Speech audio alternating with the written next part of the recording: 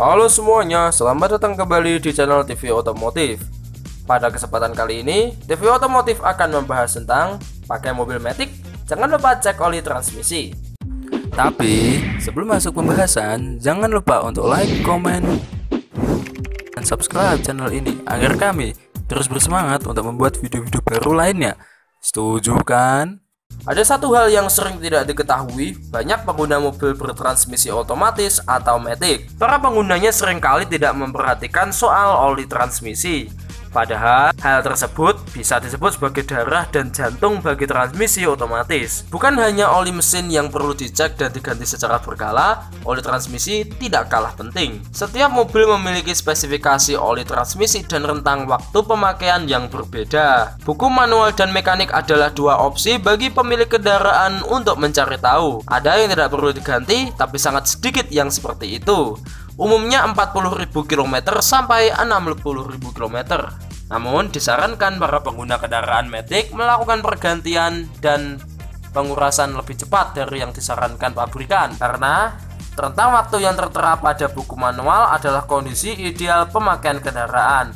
Sementara itu, lalu lintas sering kali tidak normal. Jalanan macet sampai beberapa jam itu kondisi tidak ideal pemilik kendaraan Matic mengganti oli transmisi setiap 20.000 km dan menguras setiap 40.000 km. Tentu saja, angka itu tidak mutlak menjadi patokan. Batas minimum dan maksimum harus dilihat berdasarkan dua kondisi, yaitu saat mesin dingin dan panas.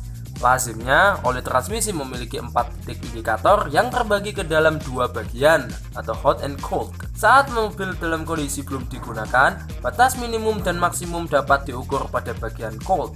Sebaliknya, hot menjadi patokan ketika sudah dipakai berjalan beberapa waktu. Transmisi Matic itu biaya gantinya relatif mahal, mulai dari 3 juta rupiah dan terakhir biayanya sampai 20 juta rupiah. B2C Lubricants Technical Manager Shell Indonesia, transmisi Matic yang umum beredar di Indonesia ada dua jenis, yakni Power Shift dan CVT. Keduanya membutuhkan jenis pelumas yang berbeda. Pastikan sesuai spesifikasi, karena jika tidak bisa berakibat untuk jangka panjang. Kedua transmisi itu menggunakan teknologi yang berbeda. Bagi power shift, oli digunakan untuk melumasi roda gigi, sementara CVT untuk melumasi belt yang terbuat dari logam agar tidak cepat putus. Sekian informasi tentang pakai mobil Matic dan jangan lupa untuk cek oli transmisi.